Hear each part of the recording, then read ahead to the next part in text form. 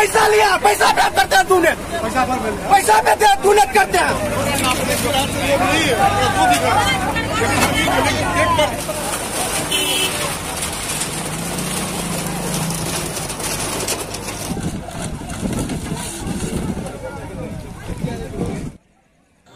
नमस्कार दोस्तों, दरभंगा रॉक्स में आपका स्वागत है। घोघटिया स्टेशन पर तोड़ फोड़ शुरू हो चुकी है। जहाँ दोस्तों, जिन्होंने अतिक्रमण कर कब्जा कर लिया था, जो दुकानदार आज उनके लिए शामत आई और पुलिस और रेलवे के अधिकारियों ने मिल करके यहाँ पर अतिक्रमण हटाने का काम सुबह से ही शुरू कर दिया। देखिए किस तरह से क्रेन की मदद से जो है वो अवैध निर्माण को गिराया जा रहा है, तोड़ा जा रहा है। पूरा पुलिस प्रशासन, पूरा महकमा यहाँ इकट्ठा हो गया था। आपको बता दें कि दो दिन पहले ही सूचित कर दिया गया था तमाम दुकानदारों को अवैध अतिक्रमण अतिक्रमणकारियों को कि आज के दिन यानी तीस तारीख को अवैध निर्माण कार्य को ध्वस्त किया जाएगा। दस बजे तक वो हटा लें, जो भी हटाना है।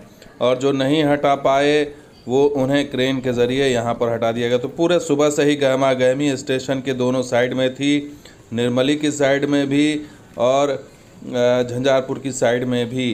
तो दोनों तरफ़ जो है वो जो भी अतिक्रमण था, खास करके जो अंडर पास है, वहाँ पर जो अतिक्रमण था, उसे इस तरह से बुलडोज किया गया, हटाया गया तोड़ फोड़ किया गया और लगातार यहाँ पर गहमा गहमी तेज़ रही और लोग जो है वो खड़े होकर के तमाशा देखते रहे। चूँकि अवैध निर्माण किया गया था, अवैध दुकान, दुकानें बनाई गई थी, चूँकि यहाँ पर कंजेस्टेड हो गया है। ये जो पैसेज बनाया गया है अंडरपास, आना जाना मुश्किल हो गया, खास करके चूँकि नया है ये रास्ता, इसलिए लगातार यहाँ पर दिक्कतें आती हैं। यहाँ पर लगातार पानी का जल जमाव होता है यहाँ पर, और भी कई सारी समस्याएँ हैं। संकरा हो गया है रास्ता, इसलिए रेलवे अब अपनी ज़मीन को खाली करवा रहा है, और इस तरीके से पूरे दिन गहमा गहमी घोगडिया के दोनों साइड में रहे। स्थानीय लोग भी आकर के देखते रहे कि आखिर यहाँ पर क्या हो रहा है, और पुलिस प्रशासन भी जो है लगातार मॉनिटरिंग करता रहा। हालाँकि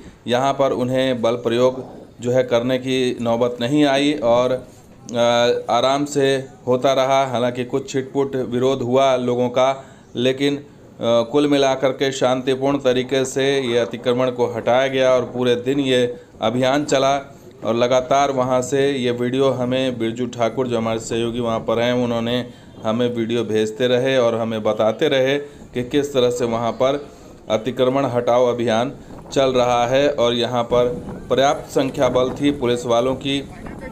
और ये देखिए, यहाँ स्टेशन के पास से जब दिखाई देता है तो ये बीच में पानी का एक झील नुमा जो इलाका है, उसके बाद ये रास्ता है और रास्ते के दोनों तरफ़ ये रेलवे की ज़मीन है।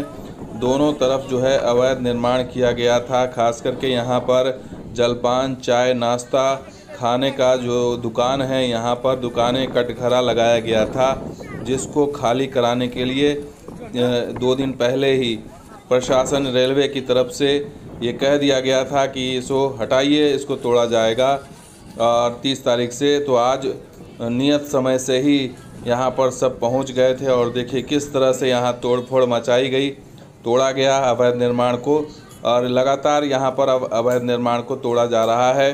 और इसमें इसमें जो है वो तमाम प्रशासनिक अधिकारी और रेलवे के बड़े अधिकारी इसमें सम्मिलित थे। ये पूरे ज्वाइंट ऑपरेशन चलाया गया और इस तरीके से यहाँ पर जो है वो खाली कराया गया। आपको बता दें कि यहाँ खाली कराना इसलिए भी ज़रूरी है कि बहुत जल्द यहाँ पर जो है रेल परिचालन शुरू होने की पूरी संभावना है और लगातार सर्कुलेटिंग एरिया या अंडरपास सड़क ये सब जो भी कब्जे में है, इसको साफ़ सफ़ाई किया जा रहा है ताकि आगे आने वाले दिनों में ज़्यादा से ज़्यादा सर्कुलेटिंग एरिया को या फिर सड़कों को को चौड़ा किया जा सके और उसको सही तरीके से व्यवस्थित किया जा सके। आपको बता दें कि कई वर्षों से यहाँ पर रेल परिचालन नहीं हुआ था।